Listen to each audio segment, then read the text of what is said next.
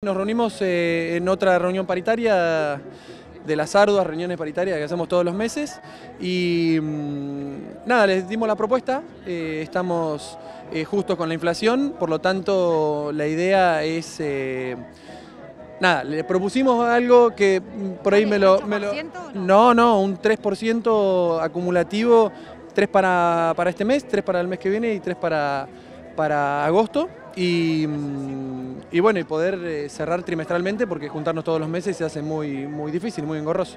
Eh, ellos no nos plantearon nada, eh, esperan, van a esperar a hablar con su gente y mañana a las 8 y media de la mañana nos volvemos a juntar para, para ver en qué, a qué acuerdo llegamos. Hoy estamos en una pseudo estabilidad inflacionaria sobre todo, entonces la idea es reunirse con, menos, menos eh, como se dice, eh, caudal de todos los meses juntarnos y encima cada mes que nos juntamos tenemos que hacer dos o tres reuniones para ponernos de acuerdo, entonces se hace muy, muy difícil. En mayo se cerró el, acta paritaria con disidencia de dos sindicatos de los, de los cuatro, eh, los otros dos estaban de acuerdo, por lo tanto se cerró y, mm, se dio el ok a lo que el Ejecutivo avanzó, ¿no? De hecho ya está la ordenanza y ya está promulgada. En mayo se cobró el 3% de abril, el 3% de mayo más un 7%.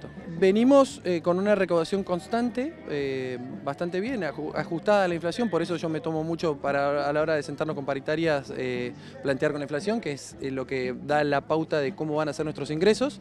Y em, de lo que me preguntaste, estamos trabajando porque el gobernador presentó un, proyecto para, para poder hacer frente, para que los comercios puedan hacer frente a estos tiempos que están muy difíciles así que vamos a continuar con eh, la moratoria que ya venimos prorrogando, que vencía ahora el 30 de junio, y la vamos a prorrogar eh, por tres meses más. Para todos los contribuyentes del municipio que tengan deuda, y que quieran cancelarla, eh, se hace una moratoria con distintas opciones de, intereses y de, quita de intereses también, en, caso de pago contado y, en una financiación. ¿no?